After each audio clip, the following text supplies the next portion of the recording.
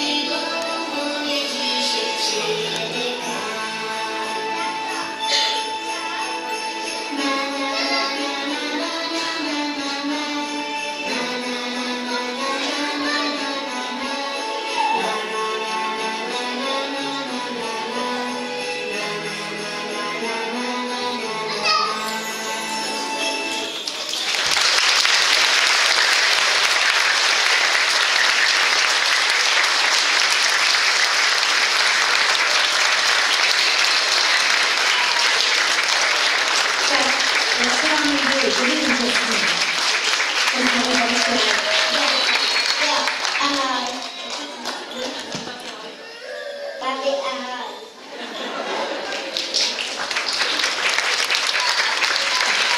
vám to řeknu tajemství. Při všech zkouškách Emička byla ta, která se usmívala od ucha k. A teď, jak to na ní ta debka padla, tak ji zatleskejte.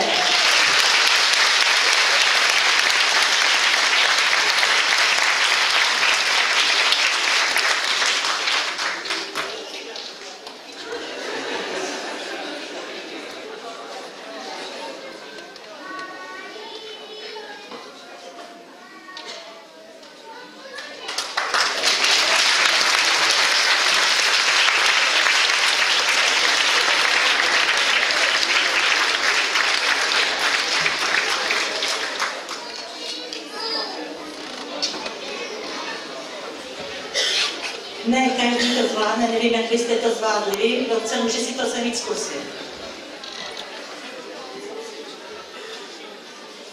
Takže byli krásní. Já jsem je, když jsem je viděla na zkoušce, tak se přiznám, eh, mi pádla z oka, protože já jsem taková, že to pak obrčím všechno, ale to je jedno. Teď už přijdu ty zkušenější, takový ti frajeři čertovský.